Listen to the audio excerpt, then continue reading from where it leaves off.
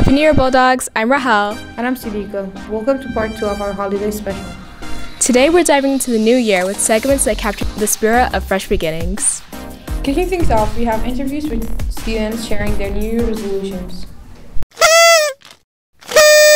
Yeah! Name and grade. Uh, my name's Joey. I'm in 10th grade. Izzy, 11th grade. Zach Sullivan, senior. Uh, my name's Nathan, and I'm in 11th grade. Nick, 11th grade. Durafel, grade 10. Kaylee, 9th. What are you guys looking forward in the year 2024? Um, I'm gonna make all my grades be perfect A's. Probably like getting to college or something. Uh, to make more money, to get more awareness for Palestine, Sudan, and the Congo. Uh, meeting new people and having some fun. Getting straight A's and making the varsity team for soccer. To work out more, you know what I'm saying? Get, get good grades. To make more money. Pass all classes. Any last words for the school show? Um, go Bulldogs. Uh, go Bulldogs. Yeah. Go Bulldogs. Yay. Be positive. Love yourself. Don't let, don't let nobody bring you down, because all you care about is yourself. Is there anything you're looking forward to this year? Graduation. Well, I would also like to expand my taste buds and trying out new restaurants. I heard the Okairi Japanese Cafe is good. Wait, didn't Emily just visit there to film a little review? She did. Roll the clip, Emily.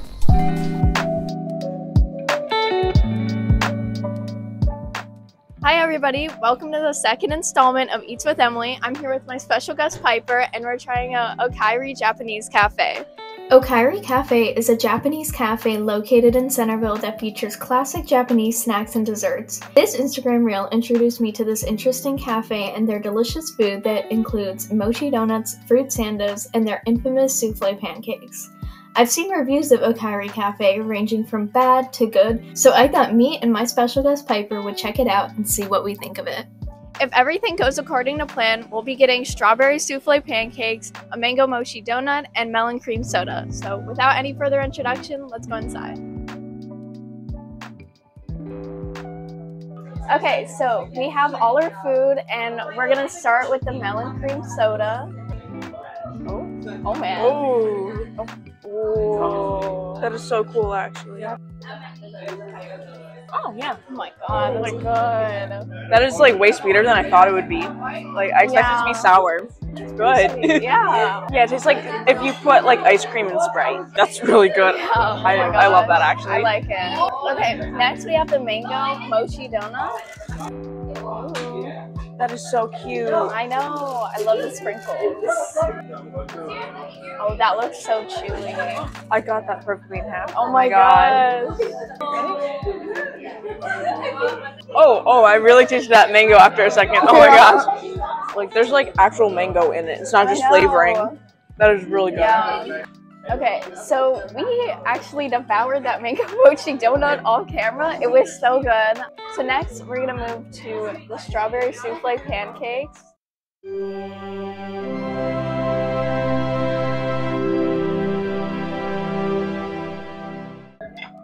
I think it's more strawberry. Like this is gonna have such strong strawberry flavor. I love it.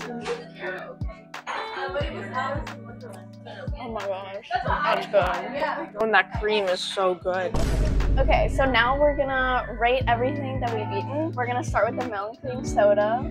What would you give that flavor? I'd give it a nine out of ten. It's like the flavor was completely different than what I expected in a really good way. Like I really like that it was sweeter versus sour. I just wish that like um there was like stronger cream to it, just like a little bit. What about? Well, now we have nothing left of it, but the mango mochi donut. Uh, that one I definitely give a 10 out of 10. I love that like it had actual like mangoes in it rather than it just being flavoring. And lastly, the strawberry souffle pancakes. This was also a 10 out of 10. Like I love anything strawberry flavored and it completely delivered. So overall vibe of the cafe, what did you think? Like this is definitely a place where you have to check out. Everything is so cute and everything tastes really really good. Especially if you like sweet stuff, like Yeah. this is a good place for you to go. If you want to try out Okairi Cafe, you can visit their location in the Centreville Square Shopping Center at this address. They're open from 11:30 a.m. to 8 p.m. every day of the week except for Tuesdays. Thanks for watching. Bye. The food looks delicious. Sure does. Next up, an exclusive interview, Principal Dubari shares a New Year's message for Westfield. Hi guys, I'm Shadika Rahimi and we are here with Mr. Jabari, proud principal of Westfield High School. So we have a few questions for you. What's your New Year's resolution, your personal My personal New Year's resolution is to make sure that I do everything that I say I'm going to do. Sometimes I'm like, oh yeah, I'll do this, and then I forget about it, or then I just decide not to do it. A specific one, well, working out is one, but also like I'll see somebody in the hallway and I'll say, oh, I'll meet with you, and then I forget about it, and I don't follow through with it. Oh, hey, I'll check on that for you, and then I forget to get back to that person quickly. So I'm trying, I'm trying to say, oh, if I complete this, I'm gonna complete it. Okay. How do you feel about the third quarter approaching? Uh, I'm excited for it. Uh, I think it's going to be fantastic. I know we have the student faculty basketball game coming, which is awesome. And third quarter is long. There's not really a lot of breaks until spring break. Um, so I'm excited because I get to see more of everybody, but I just want to make sure everybody is, is ready for it and staying on top of everything they need because once third quarter comes to an end, it's kind of a, a mad dash to fourth quarter. Do you have anything to say to the students of this? Yeah, I mean, just keep working hard. Keep make sure, making sure we're doing the right things and making good choices. Getting to class on time, participating in class, make time to join clubs. You all know I say that all the time. Is get involved in Westfield, whether it's a club, activity, performance. And we're halfway through the year, but we still have another half of the year to go. So keep working hard, keep doing all the right things. Go Bulldogs! And go Bulldogs! In this segment, we'll be diving into the world of course selections as we showcase possible electives for underclassmen.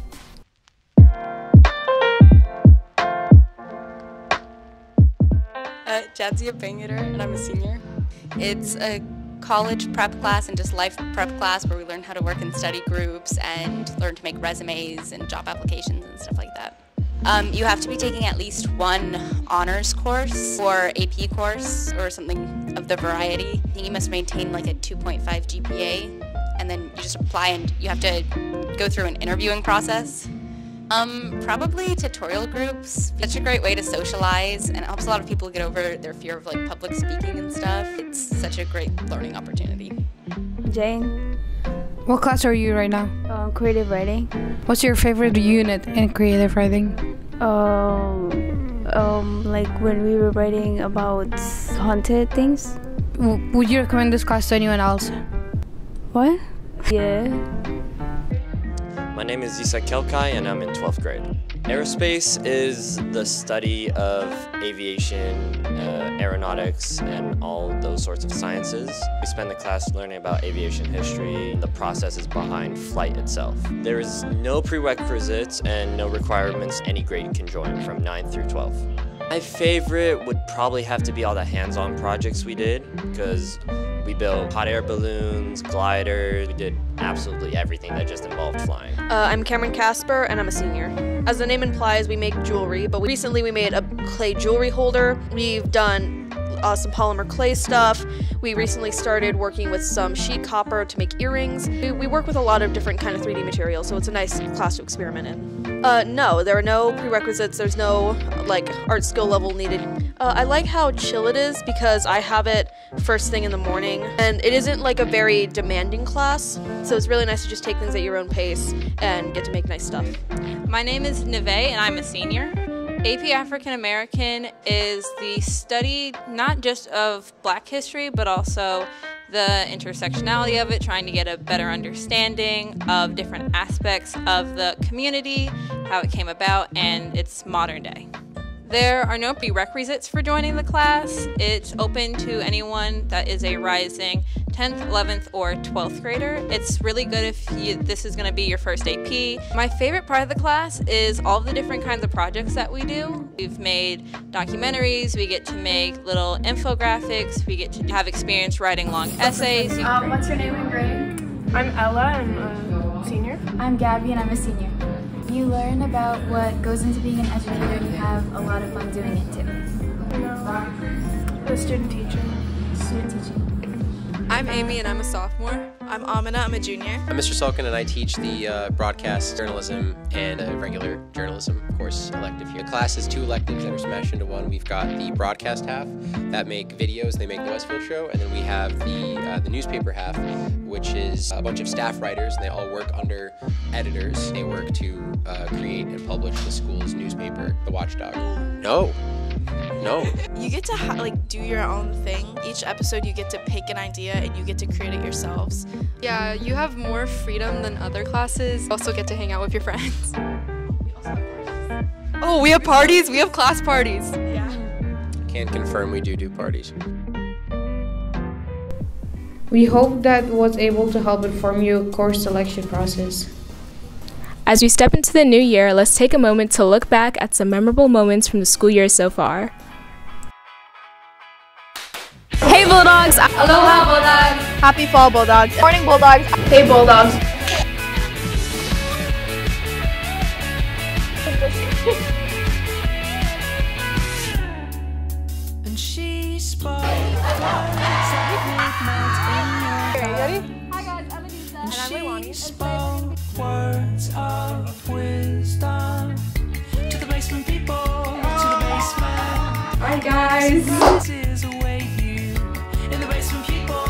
People, in. No.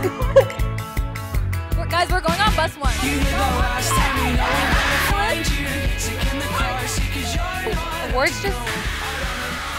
We hope everyone has a great Thanksgiving break. Go Bulldogs! Is it on? Yeah, here's, here's the mic. Oh, oh. I forgot the line. That's, That's long. the Westfield Theater. Po- Start crying. Cuba. No, wait, no. This guy um says he's famous on TikTok. We're checking. Pardon what? Come on, show it up. What? What?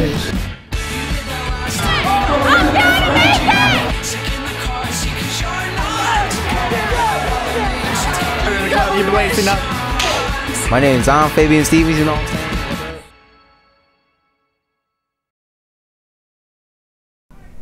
Well, that concludes our January holiday special. Thanks for tuning in. Make sure you follow our Instagram, subscribe to our YouTube channel at The Westwood Show. Bye!